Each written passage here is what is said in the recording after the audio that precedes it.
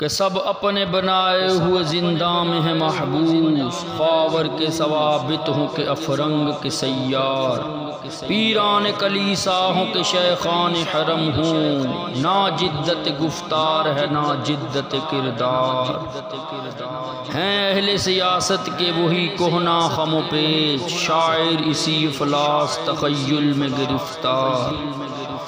دنیا کو ہے اس مہدی برحق کی ضرورت ہو جس کی نگاہ زلزلہ عالم افکار